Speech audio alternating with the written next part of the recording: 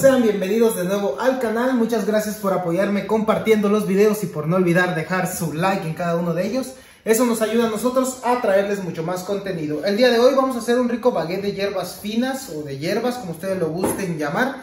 Este, lo vamos a hacer de una manera muy sencilla para que ustedes lo intenten hacer en sus casas. Este, les voy a enseñar cómo hacer un kilo de harina, pero yo no voy a hacer un kilo, no lo voy a hacer toda esta masa baguette, solo voy a hacer una porción. Pero de todos modos yo les voy explicando lo que es el proceso. Empezamos con un kilo de harina de fuerza. Recuerden, la harina de fuerza es aquella que tiene más cantidad de proteína por porción de harina. ¿Dónde lo vemos? En nuestra declaración nutrimental. Y vamos agregando medio litro de agua, de agua tibia o de agua a temperatura ambiente que no esté muy fría, ¿sale? Y vamos a agregarle también nuestra levadura seca o levadura fresca también. Si ustedes gustan agregarle levadura fresca, solo duplican la cantidad de levadura seca. Yo voy a ocupar 10 gramos de levadura seca. Ya si ustedes van a ocupar fresca, nada más duplican, serían 20 gramos. Vamos a agregarle aquí 80 gramos de azúcar y 20 gramos de sal. Todo esto se va al centro de nuestra presa. La sal no mata la levadura ni nada de eso este, es poca cantidad, entonces no afecta absolutamente en nada. Vamos a ir diluyendo nuestro azúcar. Este procedimiento es para diluir nuestro azúcar. Y por último vamos a agregar nuestra manteca vegetal. Yo voy a agregarle manteca vegetal, pero si ustedes gustan, agregan mantequilla, margarina o manteca de puerco. 50 gramitos de, de grasa de la que ustedes gusten. También se le puede agregar aceite, 50 mililitros. Y nos sale un excelente resultado. Vamos a empezar a amasar. El amasado siempre, yo se los este, voy diciendo, para este tipo de panes debemos de trabajar 4 minutos por un minuto de descanso o de reposo. ¿Por cuánto tiempo? 15 minutos. Y si vemos que nuestra masa aún le hace falta amasado, le damos otros 5 minutos más para hacer un total de 20 minutos. Pero con 15 nos queda muy bien esta masa. Recuerden, 4 minutos de trabajo por uno de descanso durante 15 minutos. Así. Vamos a ir haciendo este procedimiento. Recuerden la masa para pan salado debe de ser más, este, más dura que la masa para bizcocho.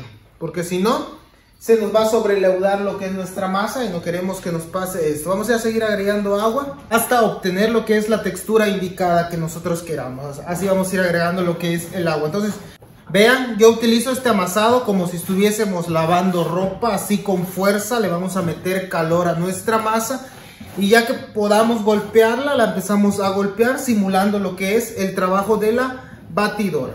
Así, vean. Nos vamos a ir haciendo este proceso. Recuerden, cuatro minutos de trabajo, uno de descanso, hasta que nuestra masa nos quede finita. Entonces me voy a quedar haciendo este procedimiento y ahorita regresamos para seguir haciendo estos ricos baguettes de, de hierbas que nos quedan muy, muy ricos. Vámonos. Vean amigos, aquí tengo mi masa. Yo la dejé este, amasando por unos 15 minutos para hacer mis baguettes de hierbas. Ya se dan cuenta, la masa se empieza a notar más finita, más como encerada, más uniforme. Ahorita lo que vamos a hacer es pesar la cantidad de masa que vamos a ocupar para hacer estos baguettes. Porque recuerden que yo les había dicho que no toda la masa la vamos a ocupar para hacer baguette. Solamente este, una parte. Voy a pesar medio kilo de masa. Aquí tengo medio kilo de masa. Esta masa la voy a ocupar para hacer otras cosas. Y vamos a agregarle nuestras hierbas. En cuestión de las hierbas, yo se los agrego, este, le agrego tres tipos de hierbas. Le agrego tomillo, le agrego orégano y también le agregamos lo que es laurel. se le agrega en una cantidad que nosotros consideremos aceptable para el paladar, o sea, vamos midiéndolo al gusto como nosotros queramos sentir nuestra masita. Yo le agregué aproximadamente a esto, a esta, a medio kilo de, masa que yo les estoy haciendo aquí. Le agregué este 10 gramos de la mezcla de las tres hierbas. Así, se siente bastante rico. De todos modos, le vamos a agregar un poquito más para la decoración, pero eso ya es al final del procedimiento. Este, pero para la masa le vamos a agregar 10 gramos por medio kilo de masa. Así, vean. Vamos a, ya no lo vamos a amasar tanto porque esta masa ya está amasada. Solo fue el amasado, ahorita fue solo para incorporar lo que son las hierbas. Y ya lo único que vamos a hacer es dejarlo fermentar, reposar en una bolsita de nylon o en un recipiente con tapa, como nosotros queramos. Bueno, lo voy a llevar acá a mi bolsita. Yo lo hago aquí para reciclar las bolsitas que donde, donde pongo mi harina, entonces lo hago este, en, estas, en estas bolsitas, vean. Aquí lo vamos a dejar este, fermentando esta masa por unos 20 minutos, que suba, que empiece a trabajar la levadura, eso es lo que nosotros queremos. Y ya vamos a regresar para hacer nuestros baguettes, un baguette de hierbas muy rico que nos queda con bastante olor, con bastante sabor también. Y ustedes se van a dar cuenta ahorita cómo vamos a decorar y cómo vamos a hacer estos panes. Entonces me voy a quedar este haciendo, esperando que repose y ahorita regresamos. Esta masa que tengo acá la podemos ocupar para hacer pan para hamburguesa, para, para, hacer otros baguettes que no sean de hierba, también lo podemos ocupar para hacer pan para hot dog, etcétera. Y podemos este, ocuparla para diferentes cositas. Entonces ahorita voy a hacer otro tipo de panes y si me da tiempo les muestro qué hice con eso. Entonces dejo fermentando mi masa y ahorita regresamos. Vean amigos, aquí tengo mi masa para hacer mi baguette este, de hierbas. Ahorita lo único que vamos a hacer es porcionar y bolear Obviamente el tamaño pues nos los va a dar la cantidad de masa que nosotros este, hagamos. Se siente bastante el olor de las hierbas que nosotros le agregamos. Lo que nosotros queremos obtener con este proceso de fermentación en la bolsa es terminar de refinar lo que nosotros conocemos como punto de ventana o punto de ligadura que es este punto, observen, este puntito es el que nosotros vamos a obtener con la fermentación en la masa y nos va este, en la bolsa y nos va a ayudar a este, refinar, a darle mayor volumen a nuestro pan. Vamos a empezar a porcionar nuestro baguette, lo voy a hacer en 90 gramos, si ustedes gustan lo pueden hacer del gramaje que quieran, yo lo voy a hacer de ese gramaje porque es un tamaño que considero que es este, ni muy grande pero tampoco nos va a quedar tan pequeño. Vamos a porcionar todo y cada uno de nuestros panes. Van a salir cada unas 6 o 7 piezas de medio kilo de masa. Vamos pues a hacerlo así. Vamos a terminar de pesar, vean, ya terminé de pesar. Y si nos sobra un poquito de masa lo podemos distribuir en las demás. Vamos a bolear de esta manera, vamos a bolear. Y vamos a volver a dejar reposar por 10 minutos. ¿Por qué? Porque si hacemos o intentamos hacer ahorita nuestro pan, la masa se va a resistir porque se aprieta tantito con el boleado, entonces no podemos este, este, hacerlo de una vez, sino que lo vamos a dejar reposar 10 minutos. Este pan que debe de reposar tapado porque si no se va a resecar, entonces le voy a poner un nylon para que, para que no se reseque y regresamos para hacer el siguiente procedimiento. Vámonos. Vean amigos, aquí tengo listo mi baguette. Lo dejé este, reposando unos 10 minutos, nos vamos a ayudar con un poquín de aceite en la mesa para empezar a formar. Lo podemos formar de dos maneras, vean, les voy a enseñar las dos maneras. Nos ponemos un poquito de aceite en las manos y lo vamos apretando de esta manera como si fuésemos haciendo un churrito. Y al final terminamos de darle lo que es el tamaño adecuado. Recuerden que siempre la unión de este pan, lo que es esta línea que se marca, va hacia abajo. Le damos un poquito de cuerpo y lo mandamos a lo que es nuestra charola que vayamos a ocupar, ya sea con papel encerado o una charola engrasada como ustedes gusten. Vamos a hacerlo de nuevo, estiramos así y lo vamos apretando con nuestra mano, de esta manera. Podemos hacerlo con la mano o podemos hacerlo con un rodillo. Como la masa ya está muy fermentada, ya este, se puede trabajar fácilmente este pancito.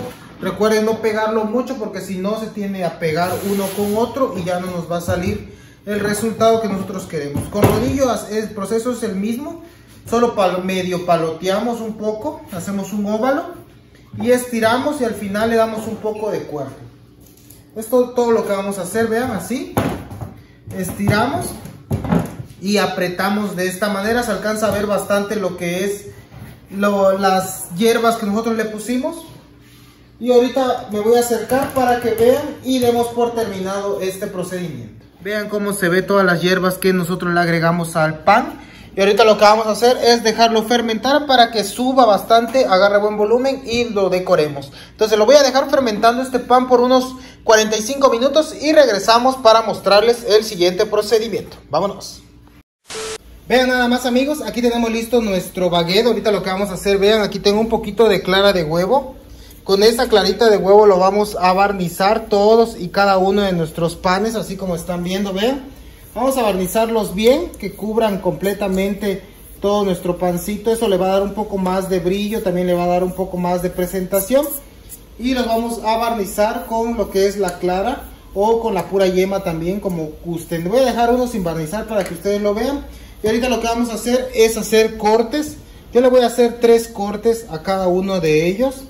Así, profundo. Los cortes tienen que ser profundos para que este nos quede bien. Igual a este que tengo, que tengo por acá. Vamos a hacer tres cortes.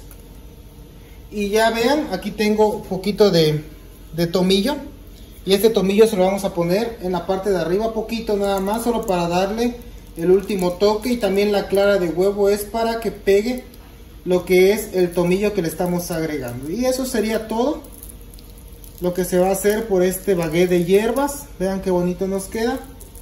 Y listo, ya lo que vamos a hacer es llevarlo al horno y regresamos para mostrarles el siguiente proceso. Vean, me voy a acercar. Vean, aquí está nuestro baguette. Se ve bien bonito, bien rico. Y ahorita lo que hacemos es llevarlo al horno y regresamos para mostrarles lo que viene siendo el final del video. Bueno amigos, ahí quedó listo nuestro baguette. Lo vamos a hornear a una temperatura de 170 grados de 10 a 15 minutos o hasta que quede doradito. Ya saben, si son nuevos aquí en el canal, apóyenme compartiendo el video y no olviden dejar su like. Recuerden, en la descripción les dejo lo que es mi página de Facebook y otras redes sociales que tenemos por ahí. Y también la receta de este baguette. Bueno, sin más que decir, llevo al horno mi baguette y regresamos en 15 minutos. ¡Vámonos!